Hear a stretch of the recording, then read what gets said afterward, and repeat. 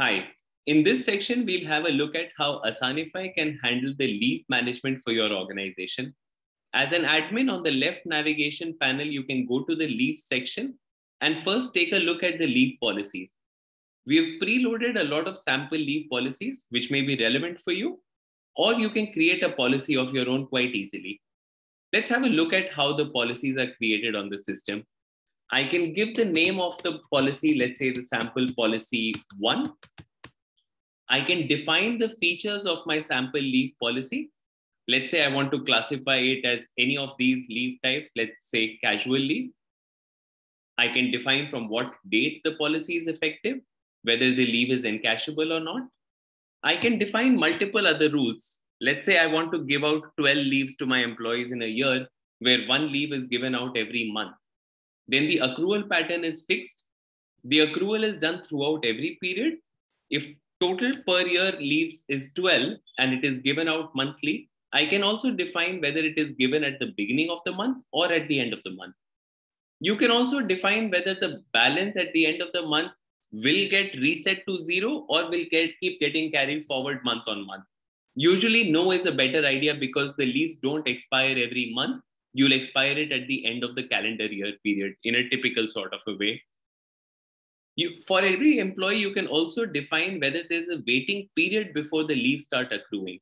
This is usually used in case of probation period of an employee so you can define whether the employee needs to have worked in the company for X number of days before the leave starts accruing in the kitty. For this example, let's say there is no waiting period for the leaves to start accruing for the people. We can define the maximum carry forward days. Let's say out of 12, only six will get carried forward. I can also define what how many days of leaves can be accrued in total. So if 12 leaves are given every year and six are carried forward, I say 18 is the maximum balance that the employee will have at any point in time. Do you want the leave to be given on a pro rata basis? So if somebody joins in the middle of the month, instead of one leave, it'll get they'll get only half a leave. The system also supports decimal leave count. So if somebody has two and a half leaves, they can use that half for the half day leave that they may want to take on any particular day. Uh, there are a last set of questions that we need to define before we finally implement the policies. Uh, you can define whether you want the employees to give some advance notice before they start applying for leave.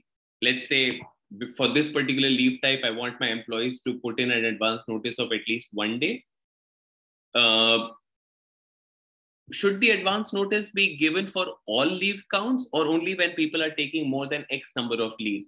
These are important parameters because for a one day emergency leave, the employee may not want to give a, cer- a certain advance notice.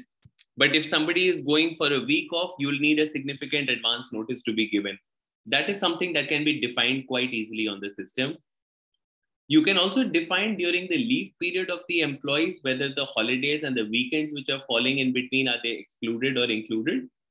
Can the half day leaves or quarter day leaves can be taken by the employee or not? You can also define whether the negative leave balance is allowed or not. Many a times the companies allow the negative leave balance so that when the employee works over the next few months the balance will be reset to zero for this example we are saying the negative leave balance is not allowed if you have three or four different types of leave policies you can also define whether the leaves, the different leaves that are there available for the employees, can it be combined or not? Say, can a casual leave and a sick leave can be taken together or not? In case, in case you don't have any such recommended, uh, recommended way of combining leaves, you can leave this blank. Once I have defined these set of questions, my policy is ready. I can create the policy and assign the policies quite simply to all the other employees that, that are there in the company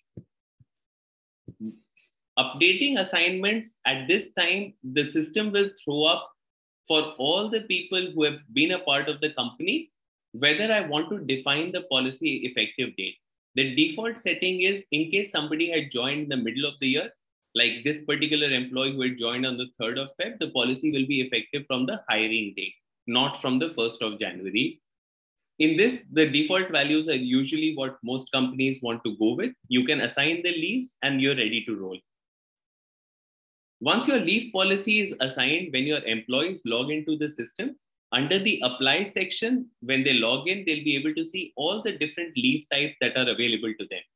This is the policy that we have just now created.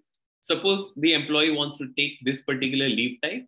All they have to do is click here, select the date for which they are going to take the leave, give the reason for their manager to know why they are on leave, and mark record leave.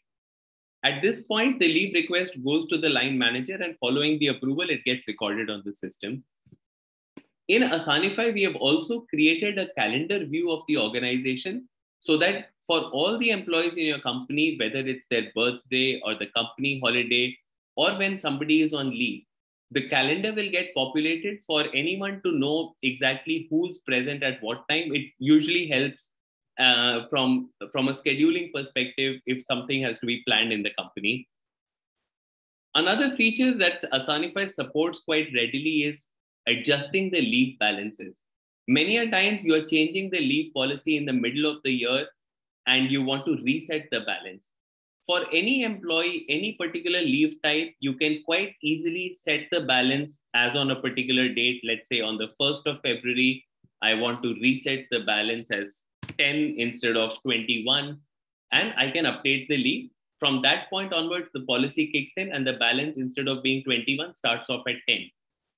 It allows the admin of the account a lot of flexibility to change the policies at any point of time, even during the middle of any particular year.